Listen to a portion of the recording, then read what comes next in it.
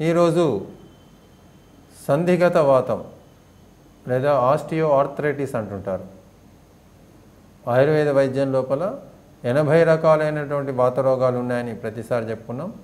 దాంట్లో ప్రధానంగా ఈరోజు సంధివాతము అంటేనే సంధులు అంటే జాయింట్స్ అని అర్థం. జాయింట్స్ లోపల చాలా వరకు కూడా ఎంతోమంది ఈ కీళ్ళవాతం అంటుంటాము. మామూలు వాడుక భాషలో చెప్పాలంటే కీళ్ళ నొప్పులు వస్తున్నాయని కీళ్ళవాతం వచ్చిందని దాంతో ఎన్నో రకాల ఇబ్బందులకు గురవుతున్నామని ఎక్కడికి వెళ్ళాలన్నా కూర్చోవాలన్నా ఇబ్బందికరంగా ఉంటుంది అని ఎంతోమంది కంప్లైంట్ చేస్తుంటారు. దానికి సంబంధించి కారణాలు ఏంటిది? అది రావటానికి ప్రధానమైనటువంటి కారణాలు ఏంటిది? సంధివాతము లేదా ఆస్టియో ఆర్థరైటిస్ అది రావటానికి కారణాలు ఏంటిది? ఎలాంటి లక్షణాలు ఉంటాయి?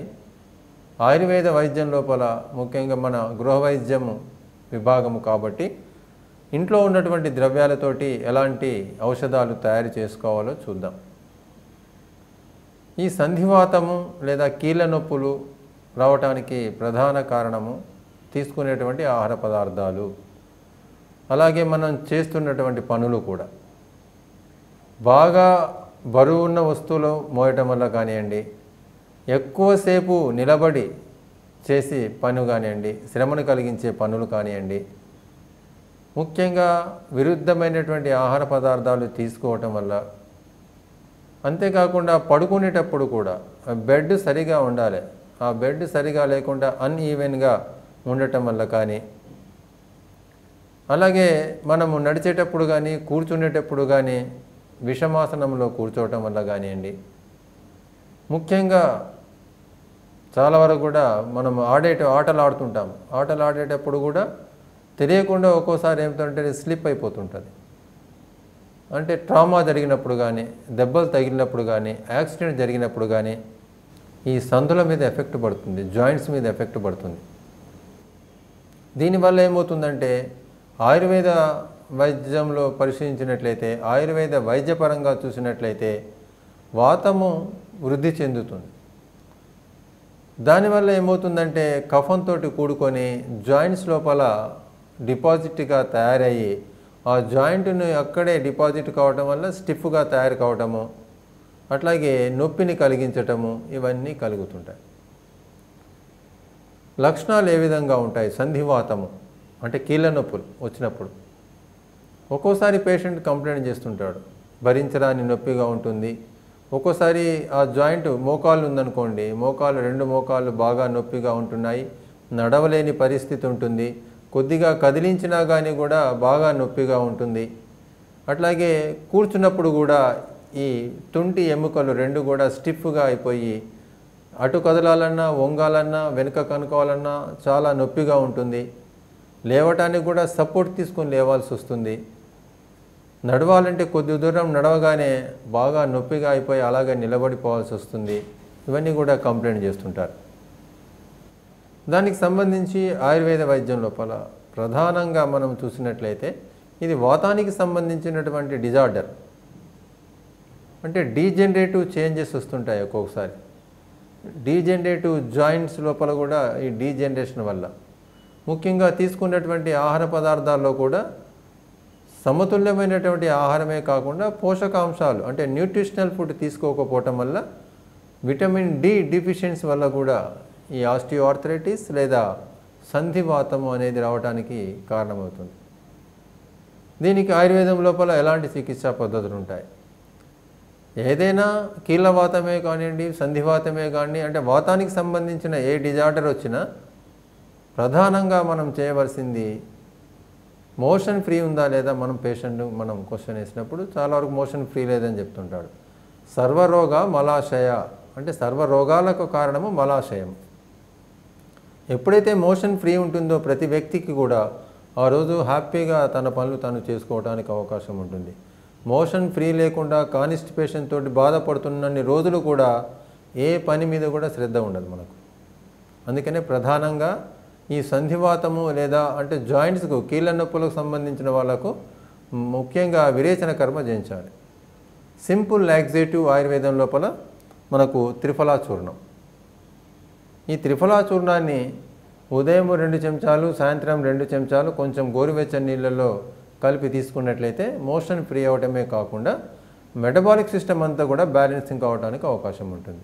దాంతో నెమ్మదిగా స్టిఫ్గా ఉన్న జాయింట్స్ అన్నీ కూడా నెమ్మది నెమ్మదిగా మళ్ళీ ఒరిజినల్ స్టేట్కి రావడానికి. చాలా వరకు కూడా జాయింట్స్ స్టిఫ్గా ఉన్నప్పుడే కదలలేకుండా నొప్పిగా ఉన్నట్టు ఫీల్ అవుతుంటాడు. ఎప్పుడైతే మోషన్ ఫ్రీ అవుతుందో హ్యాపీగా జాయింట్స్ అన్నీ కూడా ఫ్రీ మూమెంట్స్ రావడానికి అవకాశం ఉంటుంది. అంతేకాకుండా అశ్వగంధ పౌడర్ కూడా చాలా ఇంపార్టెంట్. ఈ అశ్వగంధ పౌడర్ని రెండు చెంచాలు ఉదయం రెండు చెంచాలు సాయంత్రం తీసుకున్నట్లయితే ఈ కీళ్ళ నొప్పులతోటి అంటే జాయింట్ పెయిన్స్ తోటి బాధపడుతుంటారు. చాలామంది ఏమంటుంటారు వాడుక భాషలో ఆ గుజ్జు అరిగిపోయిందని లూబ్రికేషన్ సరిగా జరగట్లేదని.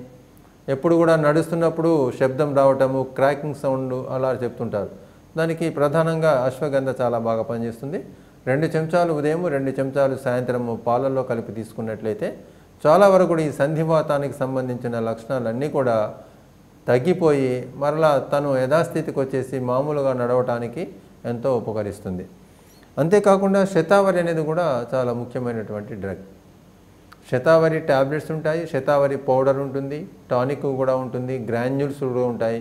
ఈ శతావరి పౌడర్ని కూడా రెండు చెంచాలు ఉదయం రెండు చెంచాలు సాయంత్రము పాలలో కలిపి తీసుకున్నట్లయితే సంధివాతానికి సంబంధించి లేదా ఆస్టియో ఆర్థరైటిక్స్ సంబంధించినటువంటి కంప్లైంట్స్ అన్నీ కూడా నెమ్మది నెమ్మదిగా తగ్గుముఖం బట్టి మరలా ఆరోగ్యవంతుడు కావడానికి ఎంతో ఉపకరిస్తుంది. అంతేకాకుండా మెంతికి సంబంధించినటువంటి పౌడర్ ఇది. మెంతి అట్లాగే వావిలాకు ఈ రెండు ఈ రెండు కూడా ఏం చేస్తుందంటే వాతాన్ని శమింపచేసేటువంటి డ్రగ్స్ ఇవన్నీ కూడా.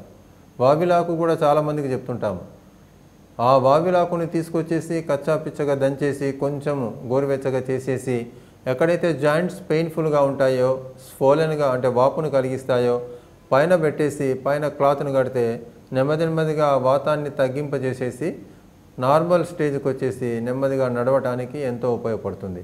అలాగే ఈ మెంతి పౌడరు అట్లాగే వావిలాకు సంబంధించిన పౌడర్ ఇది. ఈ పౌడర్ను కనుక మనము అర చెంచా ఉదయం అర చెంచా సాయంత్రము కొంచెం వాటర్లో కలిపి తీసుకున్నట్లయితే చాలా వరకు కూడా జాయింట్ పెయిన్స్ కీలవాతం కూడా తగ్గుతుంది. అట్లే కాకుండా దీన్ని పేస్ట్ మాదిరిగా తయారు చేసేసుకొని ఎక్కడైతే జాయింట్స్ పెయిన్ఫుల్గా లేదా వాపుగా ఉంటాయో పైన పేస్ట్ మాదిరిగా రాసినట్లయితే చాలా వరకు కూడా నొప్పి తగ్గుతుంది. అంతేకాకుండా ట్యాబ్లెట్స్ ఒక రకం ట్యాబ్లెట్స్ ఉంటాయి ఇక్కడ. మరొక రకం ట్యాబ్లెట్స్ ఇక్కడ మహాయోగరాధ గుగ్గులు ట్యాబ్లెట్స్ అంటే గుగ్గులు ప్రిపరేషన్స్. అంటే గుగ్గులు అనేటువంటిది కూడా ఆయుర్వేదంలో వాతాన్ని శంపింపజేసేటువంటి డ్రగ్ అది. ఈ మహాయోగరాజ గుగ్గులు ట్యాబ్లెట్స్ ఉంటాయి. ఉదయం రెండు సాయంత్రం రెండు కనుక తీసుకున్నట్లయితే సంధివాతము చాలా వరకు కూడా తగ్గి మరలా నెమ్మదిగా నడవడానికి కూడా ఎంతో ఉపయుక్తంగా ఉంటుంది. అలాగే అశ్వగంధ ట్యాబ్లెట్స్ ఇవి. అశ్వగంధ ట్యాబ్లెట్స్ కూడా ఉదయం ఒకటి రాత్రి ఒకటి వన్ మంత్. ఏదైనా సరే సంధివాతము కీళ్ళవాతము లేదా మోకాళ్ళ నొప్పులు జాయింట్ పెయిన్స్ వీటన్నిటికీ కూడా తక్కువలో తక్కువ ఒక నెల రోజులు వాడాలి. కంటిన్యూగా ఏదో నాలుగు రోజులు ఐదు రోజులు వాడామండి తగ్గట్లేదని చెప్పడం కాదు. కంపల్సరీ లైన్ ఆఫ్ ట్రీట్మెంట్ ఉంటుంది జాయింట్ పెయిన్స్కు సంబంధించి మోషన్ అంటే విరేచన కర్మ చేస్తుంటాము. దాంతోపాటుగా బ్యాలెన్సింగ్గా చేయడానికి నెమ్మదిగా వాతాన్ని శమింపజేసేటువంటి డ్రగ్స్ ఇప్పుడు చెప్పినవన్నీ కూడా మనము ఈ ఆయుర్వేద వైద్యాన్ని ఖచ్చితంగా పాటించి తీరినట్లయితే ముఖ్యంగా దినచర్య ఋతుచర్య అని ప్రతిసారి చెప్తున్నాం. దినచర్యను క్రమం తప్పకుండా పాటించినట్లయితే అసలు ఆరోగ్యవంతుడి లక్షణాలన్నీ కూడా దినచర్యలో చెప్తారు. అంటే బ్రాహ్మముహూర్తంలో లేవాలి దంతధావనం ఎలా చేయాలి స్నానం ఎలా చేయాలి భోజనం ఏ విధంగా తీసుకోవాలి తర్వాత పగటిపూట మనం నిద్రపోవాలా వద్దా అలాగే సాయంత్రం సమయం లోపల ఎప్పుడు తీసుకోవాలి రాత్రి ఎప్పుడు పడుకోవాలి ఇవన్నీ కూడా దినచర్యలో భాగం. దాన్ని క్రమం తప్పకుండా పాటించినట్లయితే చాలా వరకు కూడా మనము మన ఆరోగ్యాన్ని కాపాడుకున్న వాళ్ళం అవుతాం. అంతే తప్ప ఇష్టం వచ్చినట్లు తినటము ఇష్టం వచ్చినట్లు పడుకోవటము ఇష్టం వచ్చినట్లు కూర్చోవటము ఇవన్నీ కూడా ఇంబ్యాలెన్స్ శరీరంలో ఉన్నటువంటి దోషాలను ధాతువులను మలాలను పరిరక్షించుకోవాలి. ముఖ్యంగా ఇంద్రియాలను కూడా పరిరక్షించుకోవాలి. అరిషడ్ వర్గాలను కూడా పరిరక్షించుకోవాలి. క్రమం తప్పకుండా మన దైనందిన జీవితాన్ని మనం ఎప్పుడైతే పాటిస్తూ పోతామో చాలా వరకు కూడా ఆరోగ్యవంతుడుగా ఉన్నట్లు లెక్క. అందుకే సమదోష సమాగ్నిశ్చ సమధాతు మనక్రియ ప్రసన్న ఆత్మేంద్రియ మనః స్వస్థ ఇచ్చ విధీయతే. దోషాలు ధాతువులు మలాలే కంట్రోల్లో ఉండి సమానంగా ఉండాల్సిన కాకుండా మనస్సు ఆత్మ కూడా ఇంద్రియాలు కూడా బ్యాలెన్సింగ్గా ఉన్నప్పుడే ఆరోగ్యవంతుడని ప్రపంచ ఆరోగ్య సంస్థ మనకు నిర్ధారించింది. ఈ విధంగా ఈరోజు మనము జాయింట్ పెయిన్స్కు సంబంధించి కీలవాతానికి సంబంధించి సంధివాతానికి సంబంధించి ఎలాంటి డ్రగ్స్ ఆయుర్వేదంలో ఉన్నాయో మనం చర్చించుకున్నాము. మరొక ఎపిసోడ్ లోపల ఒక వ్యాధిని తీసుకొని ఆయుర్వేద వైద్యం లోపల ఎలాంటి చికిత్సా పద్ధతులు ఉంటాయో చూద్దాం. నమస్కారం.